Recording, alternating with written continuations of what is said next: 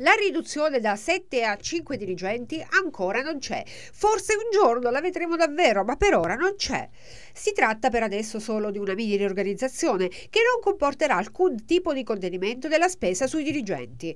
Intanto Lucio Di Timoteo rientra in possesso delle sue funzioni a partire dal 3 di novembre. Remo Bernardi ha in affidamento all'area tecnica come deciso da tempo. Questa in realtà è una, una mini riorganizzazione, seguirà invece la, eh, tra qualche tempo la vera riorganizzazione riorganizzazione di tutta la struttura dell'ente. Adesso è rientrato in rientrerà in servizio lunedì Lucio Di Timoteo che fino ad oggi è stato distaccato all'Ater e riprenderà in mano i servizi che già aveva prima di andare in aspettativa.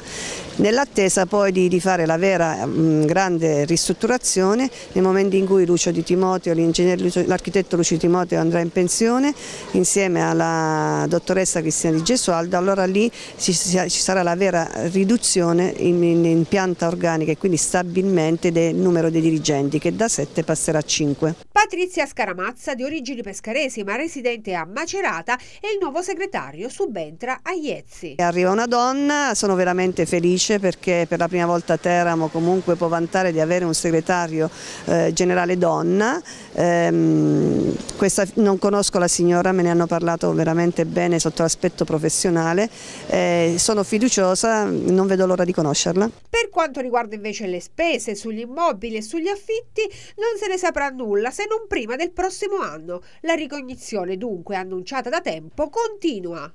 Allora per quanto riguarda stiamo facendo una ricognizione dei, dei fitti attivi e passivi, eh, la volontà del Comune di Teramo è comunque di andare sempre più via via ottimizzando ehm, eh, le, le, risorse a disposizione, i servizi che vengono comunque forniti all'ente, in tal senso stiamo facendo una, una ristrutturazione anche all'interno dell'ente dell cercando di riaccorpare i servizi in modo tale da liberare degli stabili che eh, costano al Comune di, di Teramo di, e quindi ai cittadini teramani un bel po' di soldini tra affitti ed utenze.